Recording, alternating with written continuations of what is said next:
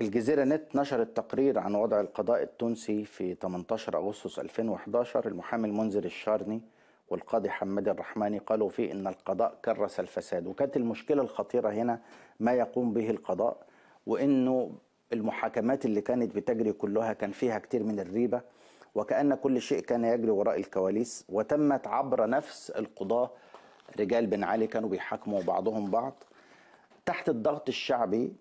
رئيس الحكومة الباجي قايد السبسي طلب من جمعية القضاة ونقابة القضاة في 29 أغسطس تقديم أسماء بالقضاة الفاسدين من أجل امتصاص وقال سندرس الموضوع وموت حمار بالمصري.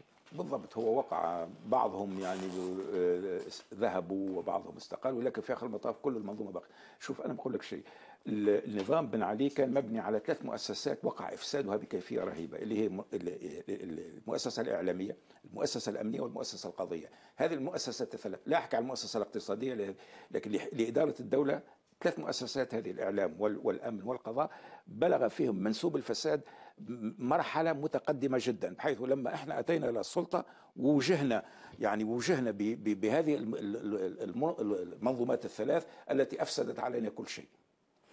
طبعا يعني الثورة تعاملت بشيء من السمح للبلاهة مع هذه المنظومات الثلاث. لا أقول بلاها وإنما أقول بنوع من المثالية أو الطوبوية لا تنسى اولا انه أغلبية الناس الذي جاءوا إلى الحكم جاءوا من خلفية آه، النضال من أجل حقوق الإنسان من الحريات من من الساحة الحقوقية من كذا وبالتالي كان من الصعب علينا يعني لو أتينا من المؤسسة العسكرية والأمنية أو لكان تصرفنا غير. لكن إحنا جينا من هذه هذه المؤسسات. الشعب انتخبنا على قاعدة أنه إحنا كنا سياسيين يعني نطالب بالحرية وكنا حقوقيين وكذا. وبالتالي لم يكن بيسعنا نتفاعل نتعامل مع هذه المنظومات إلا من, من, من موقف أخلاقيتنا وطريقتنا في العمل.